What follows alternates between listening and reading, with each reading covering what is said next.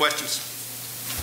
Next agenda, agenda item is 7B. This is the acceptance of the FY 2022 VAWA Continuation Grant. Ms. Hayes, good morning. Good morning. On December 14th, Lowndes County Board of Commissioners approved the application for continuation funding available through the VAWA grant program. This requested funding will continue to fund the salary and fringe benefits of our VAWA special prosecutor. The application did also include the um, request for additional funding to assist in covering the increased salary that was recently approved by the Board of Commissioners on November the 9th. Um, our office was recently notified that the application was approved, but it was approved at the same level of funding as the previous year, which is in the amount of $50,000 in federal funds.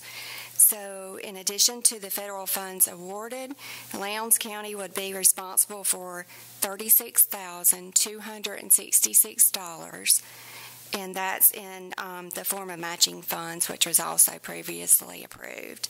This will cover the salary and the benefits for this position. This grant runs from January 1st through December 31st, um, and this will be through uh, 2022. And the acceptance of this award and activation of the award packet requires the chairman to sign the award documents and they be returned to CJCC no later than April 22nd. This will allow Lowndes County to begin drawing funds. Any questions? Thank you. Agenda